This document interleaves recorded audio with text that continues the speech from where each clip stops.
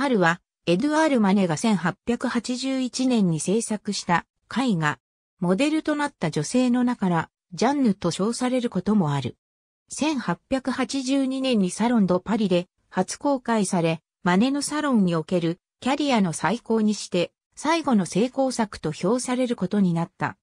描かれているのは、パリで活動していた女優、ジャンヌ・ド・マルシーで、花柄のドレスをまとい、日傘を持ってボンネットをかぶっており、背景には若葉の茂みと青空が描かれ、春を具体的に表彰している。この作品はカラー印刷によって出版物に掲載された最初の美術作品となった。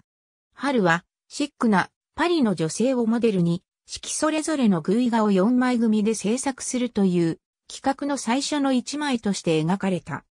これはマネの友人であったアントナン・プルーストの当時の理想的な女性、ファッション、美意識によって四季を人格化させるという着想に橋を発したものであった。この連作は完結することなく、1年後にマネが死去したことで2作目の秋が完成したところまでで終わった。